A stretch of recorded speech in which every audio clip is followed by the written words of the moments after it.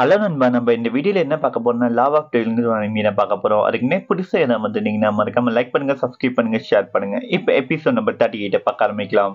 Episode ஸ்டார்டிங்ல ஒரு மேஜ் உள்ள வர மாதிரி காட்டுறாங்க அந்த ஹோட்டலுக்கு அவரை பார்த்ததுக்கப்புறம் நம்ம ஹீரோ நீங்கள் அவங்கள பார்ப்பேன் எதிர்பார்க்கவே இல்லை. அதுக்கு அந்த மேஜ் என்ன சொல்றேன்னா நானும் எதிர்பார்க்கவே இல்லை. ஆனால் ஃபைனலாக ஒன்றை மீட் பண்ணிட்டேன். சின்ன வயசில் ஒன்றை பார்த்தது. அதுக்கப்புறமா அவர் என்ன பண்ண இமேஜினேஷன் வேர்ல்டுக்குள்ள நம்ம ஹீரோ கூட்டு போயிடுறது அப்போ போனதுக்கப்புறம் என்ன சொல்கிறேன்னா இந்த இடம் உனக்கு ஞாபகம் இருக்கும்னு நினைக்கிறேன். சரி இப்போ நான் வந்த விஷயத்தை உனக்கிட்ட நான் சொல்லிடுறேன். பிவியோட டீச்சர் ஒன்று அந்த ஃபாக் ஃபர்ஸ்ட் கூட்டு போனதுக்கப்புறம் எங்களுக்கு தெரிய வந்தது என்னன்னா அவர் ஒன்று ஸ்டூடெண்ட்டாக கேட்டுக்கிட்டாருன்னு சொல்லிட்டு உனக்கு எந்த ஒரு பேட்சும் அவர் கொடுத்துருக்க மாட்டார். ஏன்னா அவர் உயிரோட இப்போ இல்லை. அதனால உனக்கு அந்த பேட்சை கொடுக்கறதுக்காக நான் வந்தேன். இது நீ அக்செப்ட் பண்ணிப்பேன்னு நினைக்கிறேன். சொன்னதுக்கப்புறம் நம்ம ஹீரோவும் இது மேஜிஷியன்ஸ்க்குலாம் இருக்கிற பேட்ச் தானே. இது எனக்கு கொடுக்குறாரா? எனக்கு தெரிஞ்ச இந்த டீச்சர் கூட நான் போனதை இவங்க எல்லாருமே தப்பாக புரிஞ்சுட்டாங்க. அவர் என்ன ஸ்டூடெண்ட்டாக ஏற்றுக்கிட்டாருங்கிற மாதிரி நினச்சிக்கிட்டாங்க போல இருக்கு. சரி இதுவும் நல்லதுக்கு தான் நமக்கு ஒரு மேஜிக்கல் ஒரு பேட்ச் இருந்தால் கொஞ்சம் நல்லா தான் இருக்கும். சரி இதை வாங்கிக்கலாங்கிற சொல்லிட்டு நம்ம ஹீரோவும் அந்த பேட்சை வாங்கிக்கிறான். அதை வாங்கிட்டதுக்கப்புறம் அவர் என்ன சொல்றாருன்னா கங்க்ராச்சுலேஷன் நீ வந்து நீயும் மெஜிஷியன் ஆகிட்டேன் இல்லைண்டு நான் என்னால் நம்பவே முடியல. உனக்கு சின்ன வயசுல நான் தான் மெஜிஷியன் ஆக முடியாதுன்னு சொன்னேன். ஆனால் இன்னைக்கு நீ ஆகிட்ட எனக்கு ஆச்சரியமா இருக்கு. உங்க ஃபேமிலியில ஒரு ஐம்பது பேர் மட்டும் தான் இந்த மெஜிஷியன் ஆயிருக்காங்க. நீயும் அதுல ஒரு ஆளுங்கிற மாதிரி சொல்றாரு. அதை கேட்டு நம்ம ஹீரோ எதுவுமே பேசாம அந்த பேட்சையை பார்த்துட்டு இருக்கான். இந்த பேட்சை வச்சு ஒன்றும் பண்ண முடியாது. மெஜிஷியன் ஆனா கூட இப்போ எனக்கு ஒரு வேல்யூவும் கிடையாது. முன்னாடி எனக்கு மெஜிஷியன் ஆகணும் ஆசையாக இருந்தது. ஆனால் இப்போ அதெல்லாம் இல்லை. இருந்தாலும் நம்ம விவியோட டீச்சருக்காக இதை நான் அக்செப்ட் பண்ணிக்கிட்டு ஆகணும். அப்போ அவர் என்ன சொல்கிறாருன்னா நான் எதிர்பார்க்கவே இல்லை. அந்த ஃபாஸ்ட் வரஸில் உண்மையிலேயே என்ன நடந்தது? அவர் எப்படி செட்டு பண்ணணும் உனக்கு தெரியுமா? நிறைய மாஸ்டர் வந்து அட்டாக் பண்ணால் என்ன நடந்துருங்கிற மாதிரி கேட்டுட்ருக்காரு. அப்போ நம்ம இரவும் ஓ இது எனக்கான ட்ரிக்கா நான் எதிர்பார்க்கல. இந்த பேட்சை கொடுத்து என்ன நடந்ததுன்னு தெரிஞ்சுக்க பார்க்குறீங்க. ஆனால் இதெல்லாம் பார்த்தா நம்ம அங்கே போயிட்டோன்னு யாரோ தப்பாக நினச்சிருக்காங்க போல இருக்கு. சரி நம்ம நடிப்பு ஆரம்பிக்க வேண்டாம். நீங்கள் சொல்கிறது உண்மைதான். அன்னைக்கு நடந்த விஷயத்தை என்னால் இன்னும் மறைக்கவே முடியல. இது விதியோட கட்டாயம் கூட சொல்லலாம். எங்கள் மாஸ்டர் இறந்து போயிட்டாரு. அதாவது எங்கள் டீச்சர் இறந்து போயிட்டா. அந்த இன்சிடென்ட் என்னால் மறக்க முடியல. அது நினைக்க முடியல. என்கிட்ட ரொம்ப வலிக்கிற மாதிரி இருக்குது அந்த விஷயத்தை பற்றி என்கிட்ட பேசாதீங்க. நீங்கள் எனக்கு ரொம்ப கஷ்டமாக இருக்கு. நினச்சாலே. அந்த மேஜரெல்லாம் பார்த்துட்டு இப்போ ஏமாறவே மாட்டான் போல இருக்கு. ரொம்ப புத்திசாலியாக இருக்கலாம் முன்னாடி பார்த்தோம். இப்போ கொஞ்சம் அறிவு அதிகமாக இருக்குது இவனை ஏமாற்றி உண்மையை நம்ம தெரிஞ்சுக்க முடியாது. மேஜிக்கல் அகாடமி சார்பாக என்னை அனுப்பி விட்டாங்க. இவன்ட்டு உண்மையை கறக்கிறதுக்கு ஆனால் இவன்ட்டு என்னால் உண்மையை இருக்க முடியல. இனிமே ஷேர் பண்ணி டேரக்டாக டீல் பண்ணிப்பாங்க. அதாவது மேஜிக் அசோசியேஷனை வந்துட்டு டேரக்டாக டீல் பண்ணிப்பாங்க சொல்கிறாரு சொல்றாரு.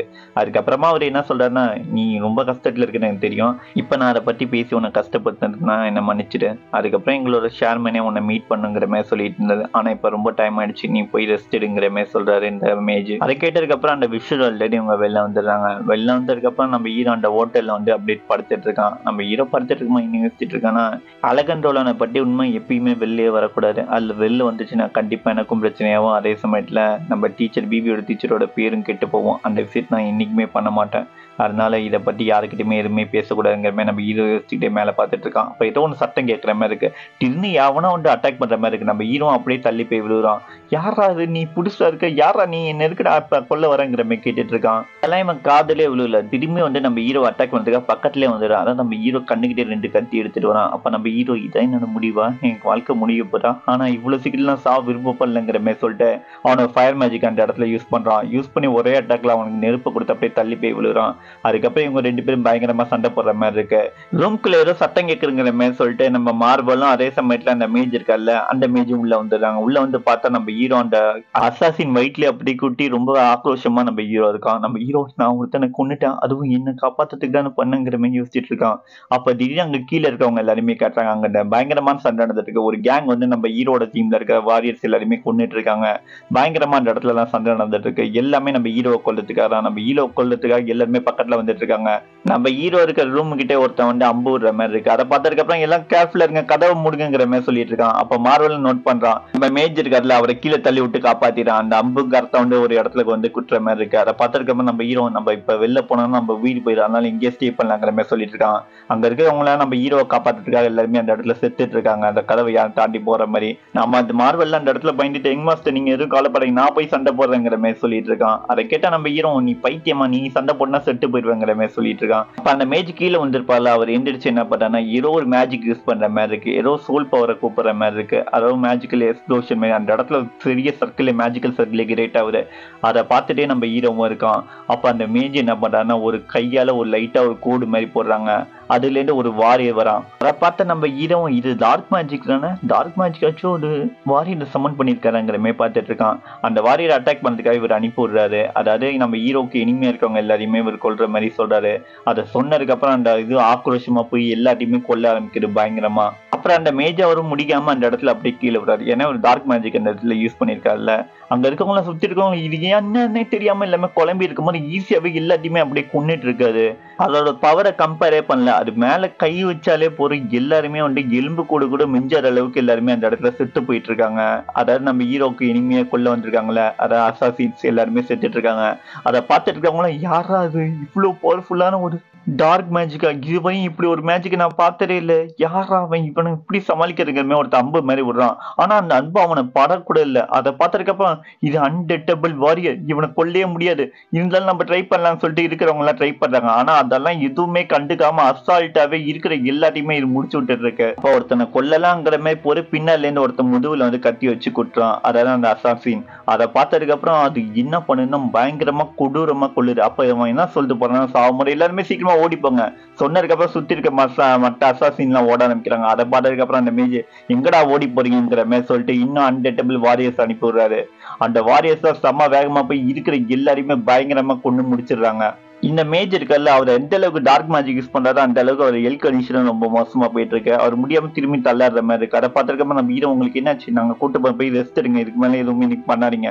அங்க இருக்க வாரியர்ஸ் இங்க என்ன நடக்குதுங்கிற கிளியர் பண்ணுங்க. இங்க விசாரிங்க. இன்வெஸ்டிகேஷன் ஸ்டார்ட் பண்ணுங்க. ஹீரோ சொல்லிட்டு அப்படியே உள்ள போறான். உள்ள போனதுக்கு அப்புறம் நம்ம ஹீரோ ஒரு டெட் பாடியை பார்த்துட்டு இருக்கான். அதான் அசாசின் ஒருத்தர் செத்து போயிருப்பான். அதை பார்த்துட்டு இருக்கான் நம்ம ஹீரோ மூஞ்சி அதை பார்த்துட்டு அப்புறம் மறுவல் தலை இவன் தான் தலை இந்த ஹோட்டல் ஓனர் இவன் என்ன தலை பண்ணிட்டு இருக்காங்கிற மாதிரி கேட்டுட்டு இருக்கான். அப்ப நம்ம ஹீரோ நடந்த எல்லாத்தையுமே யோசிச்சு பார்த்துட்டு இருக்கான். இந்த ஹோட்டல்ல வந்து நான் ஸ்டார்டிங் வந்தப்போ எனக்கு ஏதோ ஒன்று தப்பாக தோணுச்சு. இங்கே இருக்கிற சோல்ஜர்ஸ் எல்லா காலுக்கும் உடஞ்சிருக்கு அதே சமயத்துல இவங்க எல்லாருமே கொஞ்சம் டிஃப்ரெண்ட்டாக இருந்தாங்க.